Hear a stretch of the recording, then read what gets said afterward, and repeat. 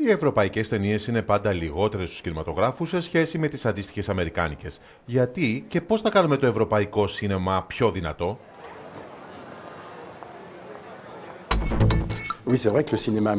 Είναι αλήθεια ότι το αμερικανικό σινεμά αποτελεί το 70% της ευρωπαϊκής αγοράς. Αυτό είναι γεγονός. Έχει την εμπορική δύναμη, έχει το Star System και έχει να κάνει επίσης με την ποιότητα ενός συγκεκριμένου τύπου ταινιών. Δεν μπορούμε να το αρνηθούμε.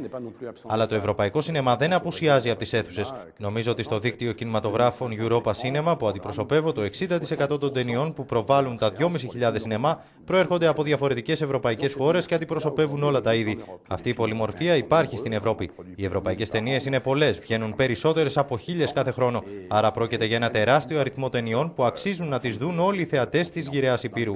Σε χώρες που έχουν περιορισμένο αριθμό κινηματογράφων, πολύ γρήγορα το αμερικανικό σινεμά γίνεται μονοπόλιο γιατί έχει μεγάλη δύναμη και μεγάλη γκάμα ταινιών. Αλλά στη Γαλλία που έχουμε 5.000 αίθουσες έχουμε ισορροπία στον προγραμματισμό. Το ίδιο συμβαίνει σε αρκετές χώρες της Ευρώπης.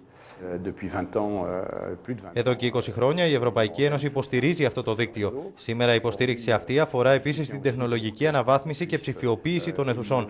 Ούτως ή άλλως ζούμε σε έναν ψηφιακό κόσμο και αυτό πρέπει να συμβαίνει και στον κινηματογράφο. Πιστεύω ότι στο μέλλον πρέπει να εμπιστευτούμε τις νεότερες γενιές, να μάθουμε πώς θα μπορέσουμε να τις φέρνουμε στις αίθουσες. Οι νέοι ξέρουν ότι οι κινηματογράφοι είναι άνετοι και προσφέρουν την τελευταία λέξη της τεχνολογίας. Πιστεύω επίσης ότι οι αιθουσάρχε, όπως και οι αρμόδιες ευρωπαϊκές αρχές, γνωρίζουν ότι είναι σημαντικό στο μέλλον να ασχοληθούμε με τις νέες γενιές που είναι γενικά πολύ δικτυωμένες. Εάν θέλετε να θέσετε μια ερώτηση, επισκεφτείτε την ιστοσελίδα ή τα μέσα κοινωνικής δικτύωσης του Euronews.